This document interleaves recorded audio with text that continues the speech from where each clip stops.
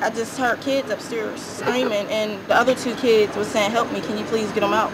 Five children died in a fire that raced through this three story row house early Tuesday morning in Pittsburgh. Investigators now are looking for a teenage babysitter who, they say, was supposed to be watching seven children while their parents were out for the night. Perry says she saw the smoke from a nearby home and ran to see what was going on. Once I went, went to the house, the steps was on fire, so there was nothing I could do. Fire officials say flames were shooting from all three floors of the house by the time firefighters arrived. It was smoke at first, and then it just turned into fire within a couple seconds.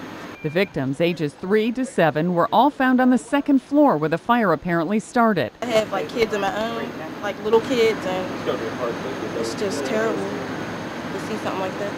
Two children managed to escape and didn't need medical treatment.